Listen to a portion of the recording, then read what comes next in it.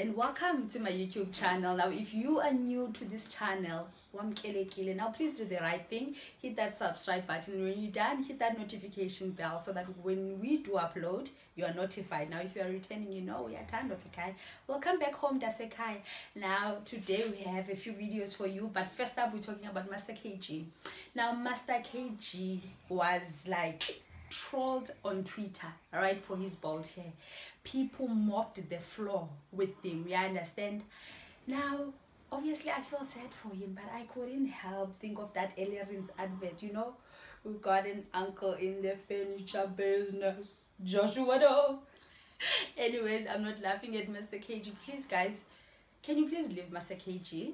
Master KG is good at what he does. Let's forget about his looks and just focus on his music because he delivers in that business, right? We can all agree on that. He delivers on that business.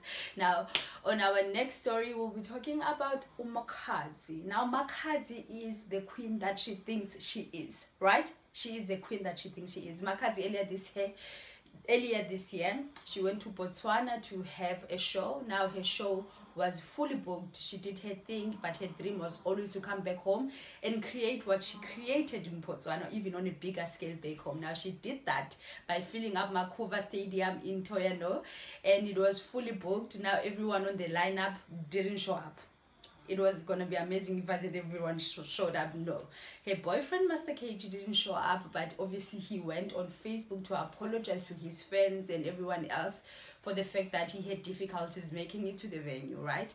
Obviously, I'm sure Makhadzi understood. Obviously, he knew before the rest of us knew what was going on.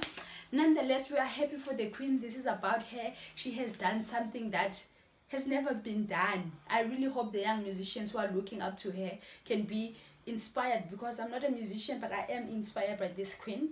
I am inspired by the lens that her talents is taking care. I'm inspired by the things that she's able to do on a daily basis.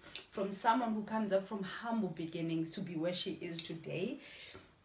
She's kicking doors, man. She's making the things possible yeah understand. So i really hope that a lot of the youth are looking up to Makhadzi and they're taking the inspiration to even do bigger things than what she's doing. I feel like a lot of the time we talk about Makhadzi but it's never about the amazing work that she does. It's mainly about her looks about how she pronounces certain things and this talking about pronunciation of certain things. Makhadzi went on twitter to thank everyone who's who has bought her tickets right? Who will be coming to her show and uh, obviously i'm not sure if it was a mistake of or it was deliberate. She went on to say thank you to everyone who bought my tickets right? Now everyone went on to correct her to say no my cards it's not bought it's actually bought. She did a video to say thank you guys for correcting me. Now i know it's not bite it's bought. And went on on the same video to say now to everyone who has bite i was like yes i love you. I i love a queen who stands her grounds and who knows her business you understand?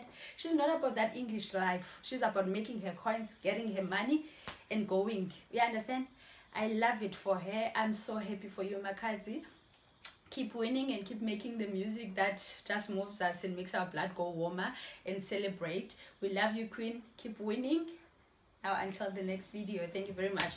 With my own english but um, i heard that guys it's not bide it's bought. Thank you for correcting me it's not buyed it's bought so thank you thank you for buying my ticket. Whoever who buyed my ticket must come through um, on saturday. So thank you very much guys. Itumela i don't know how to with my own english but